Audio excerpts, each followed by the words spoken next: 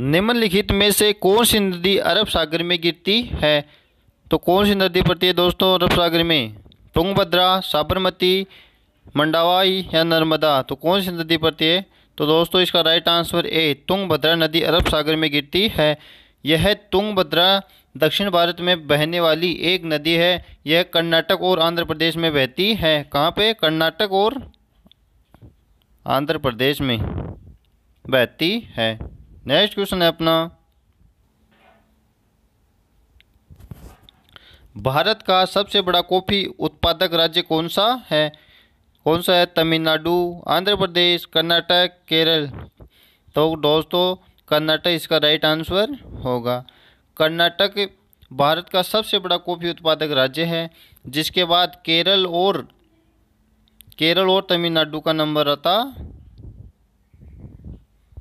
तमिलनाडु का नंबर आता है, ये दो आगे बाद में है, दो स्टेट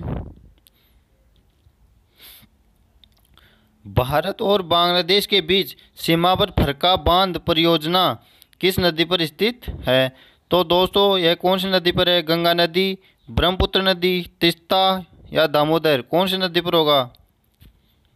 तो दोस्तों, यह गंगा नदी पर बना हुआ है। यह बांग्लादेश की सीमा से कुछ ही देर दूरी पर स्थित है।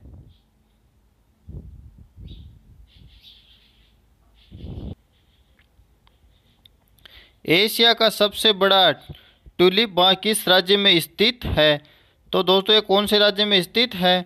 जम्मू कश्मीर, असम, सिक्किम या उत्तराखंड? किस, कौन से राज्य में स्थित है? तो दोस्तों, यह जम्मू कश्मीर में स्थित है। जे एंड के में स्थित है।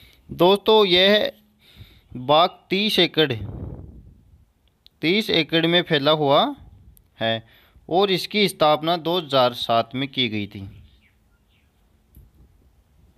नेक्स्ट क्वेश्चन है अपना।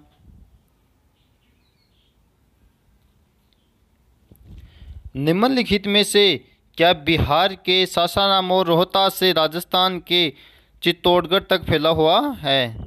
तो कौन सा आएगा इसमें दोस्तों? अरावली विंध्य श्रेणी धारवाड़ श्रेणी या कुदपा है व्यवस्था? कौन सा आएगा? तो दोस्तों इसका राइट आंसर कौन सा होगा? तो इसमें बी विंध्य श्रेणी आ जाएगा, इसका राइट आंसर विंध्य श्रेणी होगा।